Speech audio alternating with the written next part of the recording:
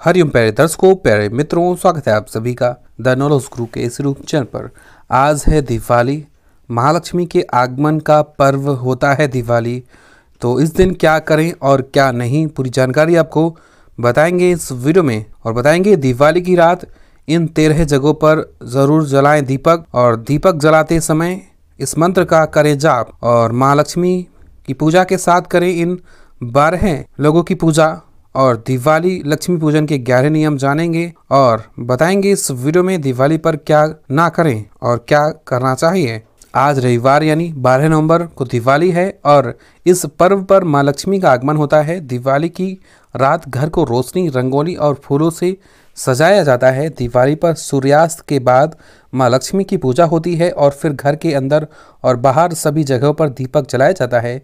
हर वर्ष हिंदू पंचांग के अनुसार कार्तिक माह के कृष्ण पक्ष की अमावस्या तिथि पर दीपावली का त्यौहार मनाया जाता है। दिवाली की रात माँ लक्ष्मी के साथ बुद्धि की दाता और विघ्नहर्ता श्री गणेश की पूजा, आराधना करके सुख, समृद्धि और वैभव की मनोकामनाएँ मांगी जाती हैं।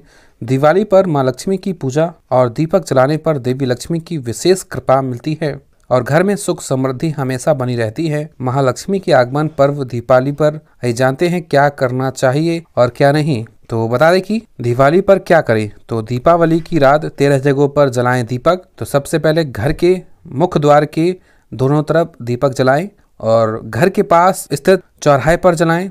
तुलसी के पौधे के पास ज़रूर दीपक जलाएँ। घर के आँगन में, घर के छत पर, घर के मंदिर में दीपक, घर के रसोई में भी जलाएँ। पीपल के पेड़ के नीचे भी दीपक जलाएँ, तिजोरी में जलाएँ, नदी या तालाब के किनारे ज़रूर जलाएँ।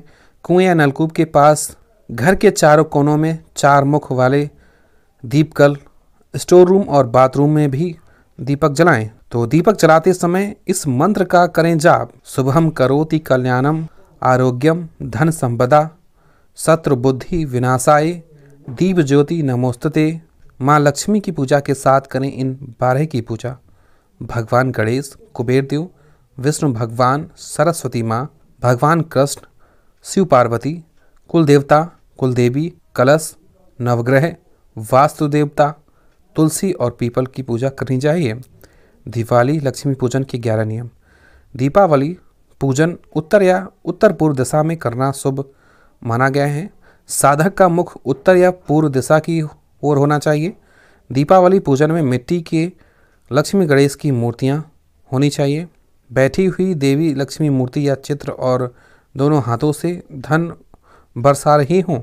लक्ष्मी जी लाल वस्त्र पहनकर और कमल के आसन पर विराजमान हों। लक्ष्मी जी की पूजा के दीपक उत्तर दिशा में हों। पूजा में घी या तेल के दीपक जलाएँ। लक्ष्मी पूजन में श्रीयंत्र, कौड़ी और गोमती चक्र ज़रूर होने चाहिए। लक्ष्मी पूजा प्रदोष काल स्थिर लग्न और निश्चित काल में करना फलदायी है। पूजन कक्ष में सिंदूर या रोली से दोनों तरफ़ स्वास्तिक बनाएँ। लक्ष्मी जी के मंत्र का जाप, ओम हीम श्रीम हीम कमले कमलाए प्रसिद्ध प्रसिद्ध श्रीम हीम श्रीम महालक्ष्मी नमः ज़रूर बोले। तो दिवाली पर क्या ना करें, नशे के सेवन से बचें, वाद विवाद से बचें, दिवाली की शाम को ना सोएँ, किसी स्त्री का अपमान ना करें, दिवाली के शाम को झाड़ू ना लगाएँ।